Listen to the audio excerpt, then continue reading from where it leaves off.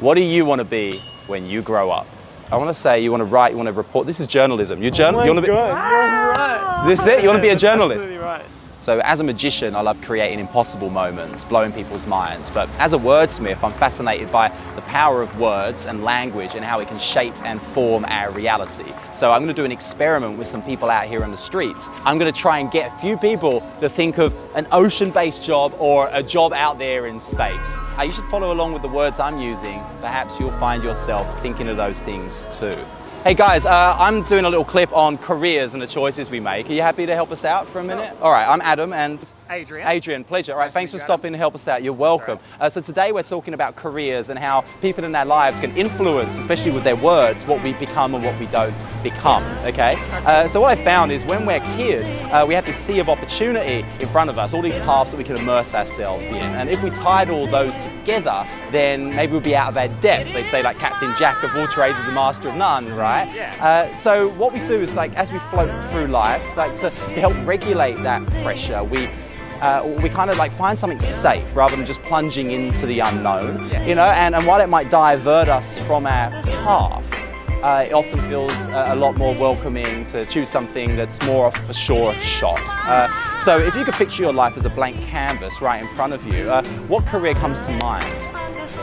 Marine biologist. A marine biologist. Yeah. Amazing. Okay. So if you could picture your life as a blank canvas right in front of you, what career comes to mind? diving instructor. A diving instructor. That's not actually what you wanted to be when you grew up, though, is it? No, this is not. Not really. Look at me, look at me. I mean, to think about what it is you actually wanted to be. This is a snowboarding instructor. Right? You wanna be a, be a snowboarding instructor. This is with the body. This is people. You want to be. You want to be a chiropractor. This is it. You want to be a chiropractor. is that right? Yeah, that's right. Yeah. I don't know how you did that. I had this teacher in school, Mr. Kemp, and he would look around the class and without giving any names, he would say that he had a few people in mind who would extremely underachieve and a few people who would achieve more than they could possibly hope for. And he knew which would be which. And he never said who. I always took that personally and I saw that as a reason to be the exception. I wanted to shoot for the stars. Uh, you okay to help? Yeah. Okay, uh, Luke, right? Yeah, Yeah, Luke. uh, Adam, nice to meet you.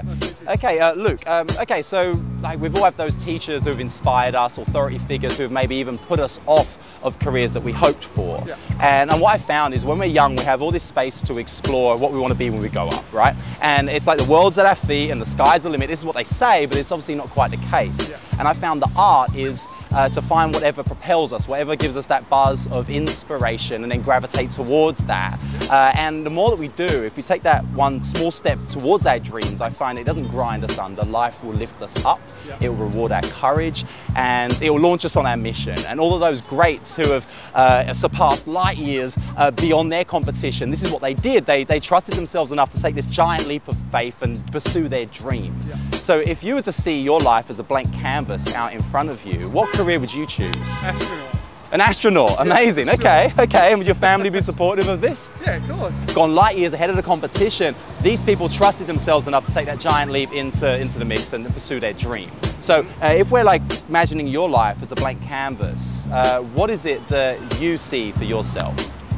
Rocket scientist. A rocket scientist. Amazing. Okay, I could see that. If you was to see your life as a blank canvas in front of you, what career comes to mind right now? What Astronaut. career- Astronaut. You. What career do you see for you?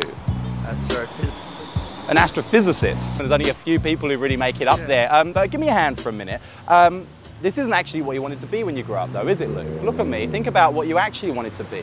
Think back to when you were a little boy and you're telling somebody and you're telling them. I want you to know that regardless of how old we get, it's never too late to pursue our passions. We can always do what it is we wanted to do. I can tell from your vibrance you've got creativity in you, and it tells me you probably wanted to do something that involved creating and building and making stuff with your hands, with these hands. Is that right? Is Yeah. right? I want to say, I was going to say engineer. No, you want to work with. Is this woodwork? You want to be a woodworker? Is this right? Is it what do you want to be when you grow up? Yeah. What was it? Carpenter. A carpenter, amazing. oh, mate, oh, that's awesome. Okay, this is still mechanical. This is something that still involves intelligence, the dissect of information. I want to feel that rather than out, that this is still another world of some. This is computer. This is computer related. This is computer. I want to feel that you're playful. This is it. We could see this. This is. Uh, I want to say you want to design video games. A video game? You want to play Yes. games? Yeah. What is it? What do you want to be? Designer. A video game? Designer. Amazing. All right. Well, you, That's pretty good. I want to say like a youth worker, a council worker. Is this right? How'd you even get that far? What is it? How'd youth worker? You want to be a youth worker?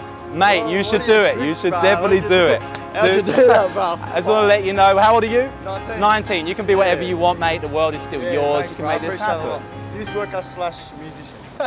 Amazing. I love magic and I like to look up magic and I watch all the Penn and Teller stuff. No clue how you did that. I want to be a chiropractor when I grow up. Or did. so the question I have to ask you is, what do you want to be when you grow up?